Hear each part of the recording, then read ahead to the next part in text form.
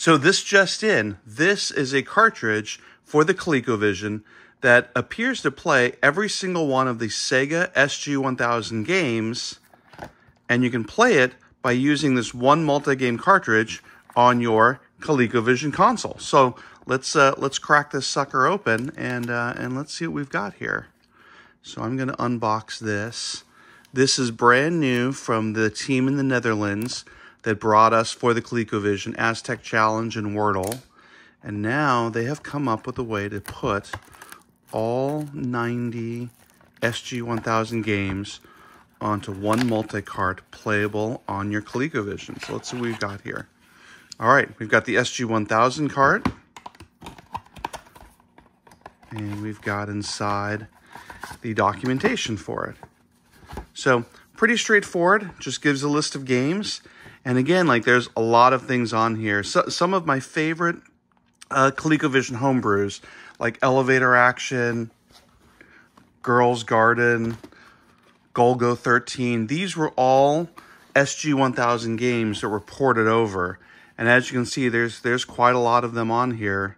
James Bond, CISO, Choplifter, Circus Charlie, Congo Bongo, Drol, Elevator Action, Girls Garden, Hero, lots of really cool stuff to play. Now, for those of you guys that don't know, the SG-1000 and the ColecoVision, they, they, they kind of do have a little bit of history. The, the, the, this is the original SG-1000, or actually this is the SG-1002 game system from Sega. And in a way, this console here in Japan, it kind of was like the Japanese ColecoVision.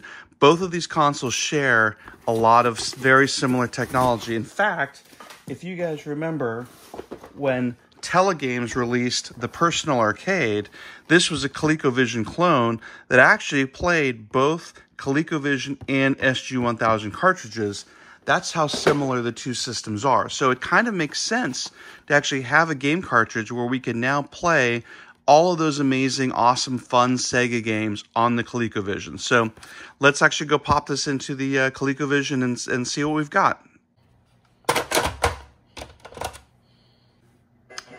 Right.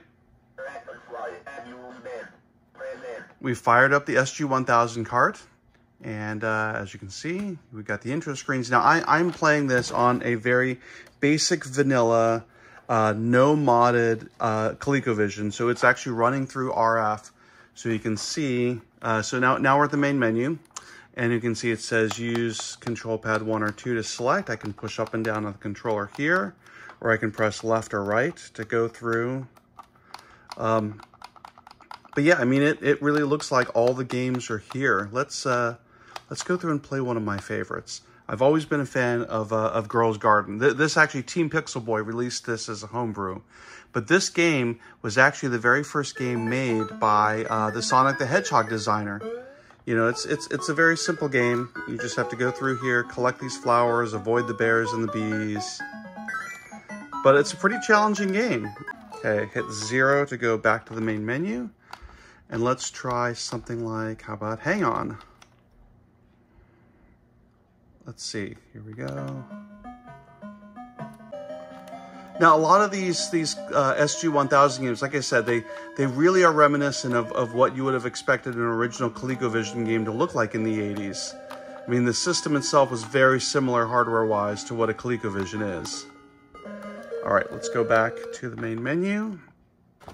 How about, oh, Guzzler. Guzzler is an arcade game that uh, um, I don't think uh, any of the homebrewers have reported this one. See how many of you guys remember this one, where you basically have to go through and collect the water, and then shoot shoot the water at these fire dudes. I've collected water. Yeah, that's that's kind of another obscure arcade game. All right, let's see. Let's go through the list.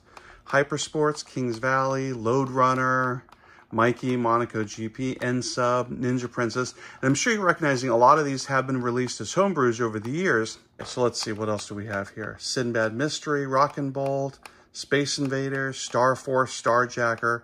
So, so many good games on, on, on this one thing. Let's load up something like Star Force. And again, this is another one that Team Pixel Boy ported over. But again, it's just kind of nice to have it all in one, one place, one cartridge.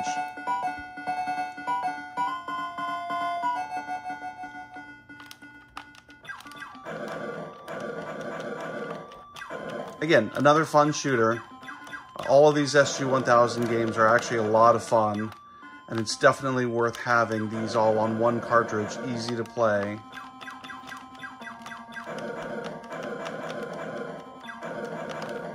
All right, to zero. Now, I will say the one reason why I'm playing this on an original ColecoVision, it does not work with the CollectorVision Phoenix. So if you have a CollectorVision Phoenix, um, I don't believe you'll be able to use this cartridge. All right, so let's go up and look at something like, what is Space Mountain? I'm a roller coaster fan, so Space Mountain sounds like fun. I'm assuming it's not a roller coaster game. Nope, it is a shooter. Hey, I, I, I, I can do that. I like roller coasters, but I also like shooters.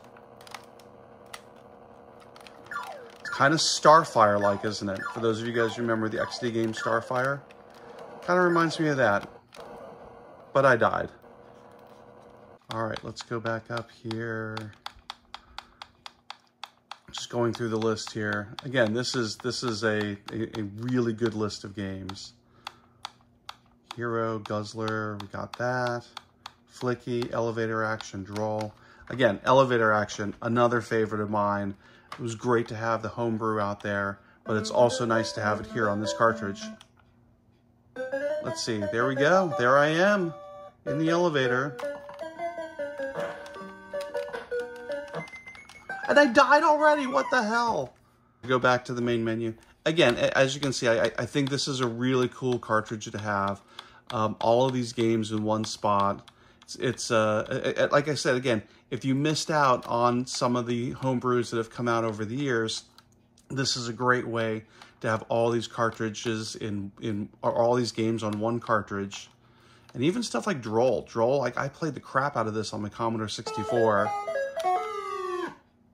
Like, I love that this actually got a console port to something like the uh, SG-1000. Don't shoot the little girl.